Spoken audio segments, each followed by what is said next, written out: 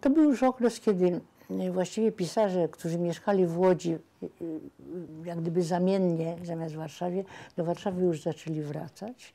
I wskutek tego w Warszawie mieliśmy właściwie gro takich pisarzy, no, chyba najwybitniejszych w tamtym okresie to, był, y, to byli Stryjkowski, którym też byliśmy bardzo blisko zaprzyjaźnieni. y, Stryjkowski, y, Brandys, to samo nasi przyjaciele. Także bardzośmy się jakoś zadomowili w tym środowisku.